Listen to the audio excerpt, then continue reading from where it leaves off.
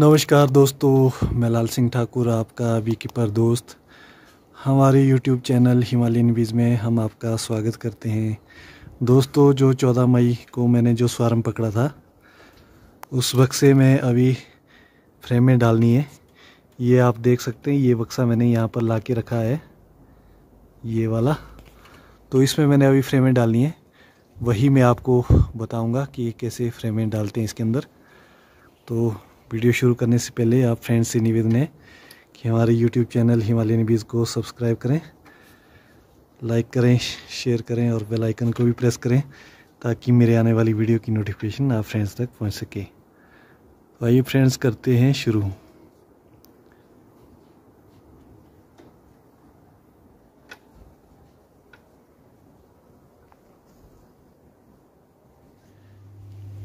ये देख सकते हैं फ्रेंड्स आप, ये जो बक्सा है मैंने उठाकर यहाँ पे रख दिया है इसको। और अभी मैं इसमें फ्रेमें डालूँगा। पिछले कल मुझे टाइम नहीं लगा और मैंने इसको फ्रेमें नहीं लगाई। अभी मैं निकाल के दिखाता हूँ मक्खियाँ कैसे बैठी हैं इस बक्से में।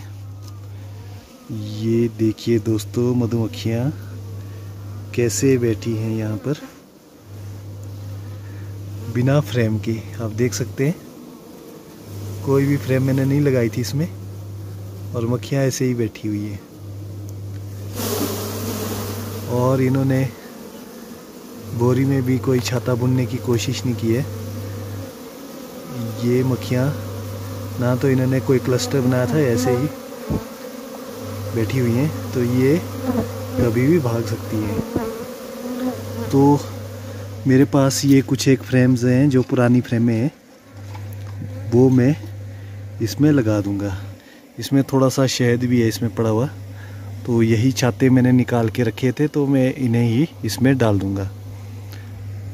तो बहुत ही आसान तरीका है फ्रेंड्स इसमें फ्रेमें लगाने का भी। फ्रेमें आपने दोस्तों, उस साइड लगानी है, जिस साइड मक्खियाँ ज़्यादा बैठी है। आप देख सकते हैं, इसकी क्यून भी यहाँ पर नज़र आ रही है। शायद नीचे चली गई है। यहाँ मुझे अभी नज़र आ गई थी वो।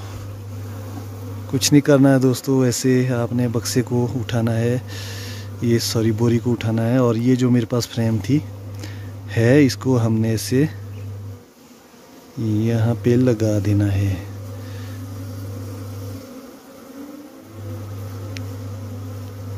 ये ऐसे। अब मक्खियाँ जो है इसमें चढ़ जाएँगी और काम शुरू कर देगी। नहीं तो इन मक्खियों के भागने के चांस जो है बहुत ज़्यादा हो जाते हैं। अब आप देख सकते हैं, इनमें फीडिंग भी है। तो ये फ्री फ्रेम मैंने फ्रिज में डाल रखी थी। कुछ इसमें डिज़ीज़ जैसी बैक्समॉस जैसे कुछ सिम्टम थे। पहले मैंने इनको धूप लगाया, उसके बाद मैंने इनको पाँच छः दिन फ्रिज में डाल के रखा था। तो मैं इन फ्रेमों को इस बॉक्स में लगा रहा हूँ। ये जो फ्रेमें हैं, इसमें कोई बैक्समॉथ अब ज़िंदा नहीं बचा होगा। इस तरीके से। और ये दोस्तों एक फ्रेम मेरे पास और है, इसको भी मैं ऐसे यहाँ पर, ये मैंने ऐसे लगा दी है। आप देख सकते हैं कैसे लगा रहा हूँ मैं। इसी तरीके से आप ही घर में जब स्वार आए, ये फ्रेम है मुझे कल ही लगानी चाहिए थी, लेकिन मुझे टाइम नहीं लगा और मैंने इसमें फ्रेमें नहीं लगाई। और ये मैंने एक फ्रेम और खाली जोड़ दी इसमें, क्योंकि मैंने अभी इसमें शीट भी नहीं लगाई है तो ऐसे ही डाल देता हूँ। ताकि ये बोरी भी अच्छे से इसमें टिक सके। और ये एक फ्रेम मैंने इसमें और खाली ऐड कर दी है। अब आप देख सकते हैं जो फ्रेम में मैंने इस तरीके से इसमें लगा दी है, बहुत ही अच्छी तरह से। तो मक्खियाँ अब इस, इन फ्रेमों पर चढ़ना शुरू कर रही है। ये आप देख सकते हैं थोड़ी थोड़ी तो अब ये जो फ्रेमें लगाई है दोस्तों, अब ये बोरी को टिकाने में भी बहुत ही बढ़िया रहती है अंदर। नहीं तो ये बोरी में मज़ा नहीं आता है। ये टिकती नहीं है। और देख सकते हैं मक्खियाँ। और ये मैंने एक इसमें फीडर भी लगा रखा है।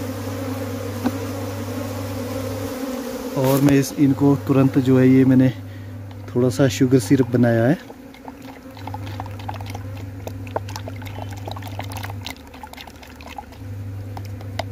मैंने इसको भी इसमें दे देना है।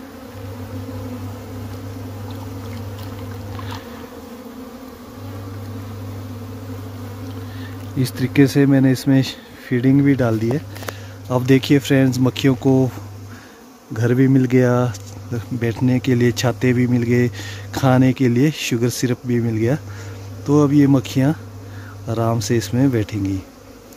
और इस तरीके से अगर एक साइड हो जाती है मक्खियाँ तो आप इनको हाथ से जो है फ्रेमों की तरफ़ धकेल सकते हैं ऐसे ऐसे, ताकि ये पर इस फ्रेमों की तरफ़ जाए। क्योंकि हमारा मकसद इनको फ्रेम पे चढ़ाना है। दोस्तों, कई बार क्या होता है, जो घर में मक्खियाँ, जो लॉग हाइव से निकलती है दीवार हाइव से निकलती है, उनको फ्रेम में बैठने की कोई ख़ास आदत नहीं होती। तो आप ऐसी मक्खियों को ऐसे धक्का दे के थोड़ा फ्रेमों की तरफ़ भेज दें, ताकि मक्खियाँ फ्रेमों पर आराम से चढ़ सके। तो अब करते हैं इसको कवर और जो मैंने इसमें क्यून गेट लगा रखा है दोस्तों, इसको भी हम चाहे तो इसको निकाल सकते हैं। ऐसे। फ्रेंड्स, इसमें जो रानी आई है, वो आपको जैसे मैंने पिछले कल दिखाया था कि वो जो सेल था, उसमें से ये निकली थी, ये नई रानी थी। मैं आपको कल बताना भूल गया था। दोस्तों, उस बॉक्स में जो है, मैंने जो पुरानी रानी थी, वो हटा के जो लेंग वर्कर घर था, मैंने उसमें दे दी थी। क्योंकि इन्होंने सेल डालने शुरू किए थे तो मैंने वो पुरानी रानी जो है, इसमें पहले ही हटा दी थी। इसीलिए मैंने इसमें दो सेल रखे थे। रखा तो एक था, लेकिन एक छूट गया होगा। तो इसीलिए इसमें जो है, रानी अभी वर्किंग में नहीं है मीटिंग नहीं हुई है उसकी। वो मीटिंग के लिए जब जाएगी, उसके बाद, जब एगलिंग स्टार्ट करेगी, उसके बाद आप फिर से क्यून गेट लगा सकते हैं, ताकि मक्खियाँ आपकी भागे ना। तो इस तरीके से आपने देखा कि कैसे मैंने फ्रेमें लगाई और इनको शुगर सिरप भी दिया।